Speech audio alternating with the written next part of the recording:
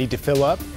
You want to hear this, right? Yes, Sheetz gas station is celebrating Independence Day by rolling back the clock and rolling back the prices. So tomorrow, a gallon of gas will cost $1.77 and 6 tenths of a penny so 1776. Mm-hmm. As in the year the Declaration of Independence was signed. The limited time price starts at midnight and it will last all through the day tomorrow. So this is not just regular fuel. Mid-grade and premium will also have that $1.77 price per gallon.